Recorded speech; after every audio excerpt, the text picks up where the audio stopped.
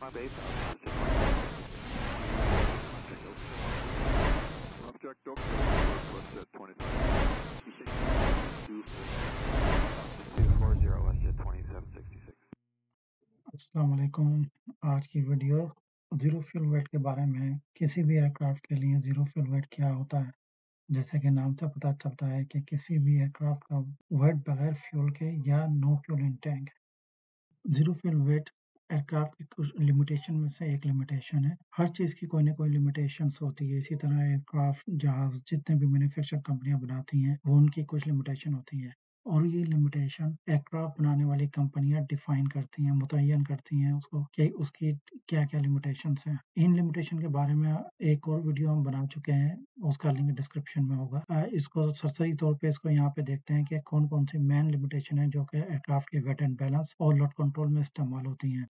सबसे पहले basic operating weight है, जिसको हम एम्प्टी वेट भी कहते हैं। ये एयरक्राफ्ट का वो वेट होता है, जो विदाउट पैसेंजर फ्यूल और क्रू के होता है। इसी बेसिक वेट में अगर आप क्रू शामिल कर दें कैटरिंग या कोई ऐसी पेंट्री शामिल कर दें, वो एयरक्राफ्ट का ड्राई ऑपरेटिंग वेट कहलाता है। Again dry operating weight itself explanatory इसका मतलब है no passengers no fuel aircraft weight plus the crew उसके बाद ज़ीरो फ्यूल वेट आता है। ज़ीरो फ्यूल वेट एयरक्राफ्ट का वर्ड वो वेट होता है जिसमें एयरक्राफ्ट का dry operating weight plus the payload शामिल होता है। बट अगेन नो फ्यूल जब आप इसमें फ्यूल ऐड कर देते हैं, उसके बाद आता है टेक ऑफ़ वेट ये एयरक्राफ्ट का टोटल वेट होता है, जिसको हम टेक ऑफ़ वेट कहते हैं। इसके बाद होता है मैक्सिमम लैंडिंग वेट नेक्स्ट के बाद जो लिमिटेशन है, वो maximum landing weight total weight of the aircraft at the time of landing तो ज़ीरो फ्यूल वेट एयरक्राफ्ट का is all about the distribution of the load अगर आप पिछली डेफिनेशन को देखें तो ड्राफ्टिंग वेट के बाद मैक्सिमम ज़ीरो फ्यूल वेट है। ज़ीरो फ्यूल वेट में पे लोड आप ऐड करते हैं तो वो ज़ीरो फ्यूल बन जाता है ज़ीरो फ्यूल वेट हो जाता है एयरक्राफ्ट का। तो it's all about the distribution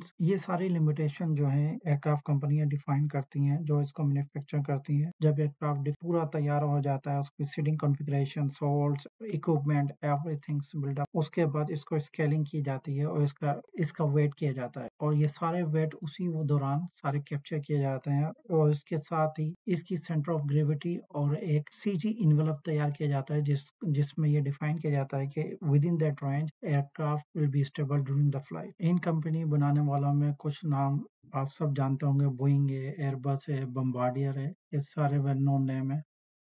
ये ज़ीरो फ्यूल डिफाइन करते वक्त एक लफ्ज हमने यूज़ किया था पेलोड पेलोड क्या होता है? पेलोड ट्रैफ़िक लोड होता है जो एयरक्राफ्ट कोई भी फ़्लाइट ट्रांसपोर्ट करती है from point A to point B इस पेलोड में passengers cargo passenger baggage mail और जो एक स्टेशन से दूसरे स्टेशन ट्रांसपोर्ट किया जाए, उसको हम पेलोड कहते हैं।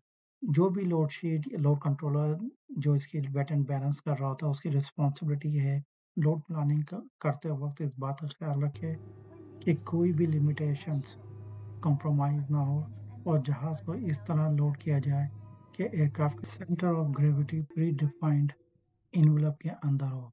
इस चीज़ को अगर मद्देनजर रखें कि रॉन्ग लोडिंग या रॉन्ग कैलकुलेशन न सिर्फ़ एयरक्राफ्ट की सेफ्टी और इंसानी ज़िंदगी, बल्कि पायलट के लिए एयरक्राफ्ट की कंट्रोलेबिलिटी भी मुश्किल हो जाती है। तो ये थी सारी आज की वीडियो ज़ीरो फ्यूल वेट के बारे में। आप कमेंट्स में ज़रूर बताइएगा कि आपको ये वीडियो कैसी लगी। Please please don't forget to leave your comment अगर पसंद लगी हो तो प्लीज़ इसको शेयर करें लाइक करें। और सब्सक्राइब करके आइकॉन बटन दबाना ना भूलें, ताकि आइंदा आने वाली वीडियो भी की नोटिफिकेशन आपको मिलती रहे।